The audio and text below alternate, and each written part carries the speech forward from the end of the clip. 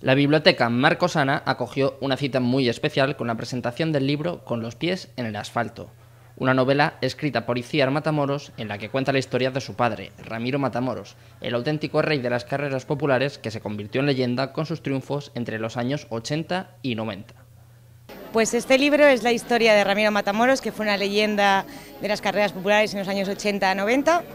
Y bueno, yo soy periodista, como vosotros, soy su hija también. Y bueno, él siempre me contaba sus historias, como de ser un muchacho de pueblo acabó codeándose con lo más alto de la élite del atletismo y entonces un día decidí escribir su historia. La presentación contó con la presencia de Iciar Matamoros, escritora del libro, Ramiro Matamoros, Ángel Bonache, concejal de Deportes de Sanse, Ángel Torres, presidente de la Fundación Clínica Menorca, Juan Ignacio Gallardo, director de marca, y Miguel Ángel Martín Perdiguero. Continúa con el atletismo de otras maneras, montando su club, ayudando en la Fundación Corre en Rosa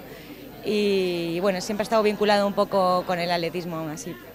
El libro cuenta con 42 capítulos que simbolizan una metáfora de los kilómetros que tiene una maratón y muestra el lado humano de Ramiro Matamoros, ya que no solo es el atleta que ganó siete veces la San Silvestre, sino que también ha seguido implicado con el atletismo y es el patrono de la Fundación Clínica Menorca, que puso en marcha la iniciativa La vida es rosa, en la que luchan contra el cáncer de mama. La presentación del libro tuvo lugar en la Biblioteca Marcosana a partir de las ocho y media de la tarde y la entrada fue gratuita hasta el punto de que la sala se quedó pequeña debido a la gran afluencia de público que quiso estar presente y homenajear a esta leyenda.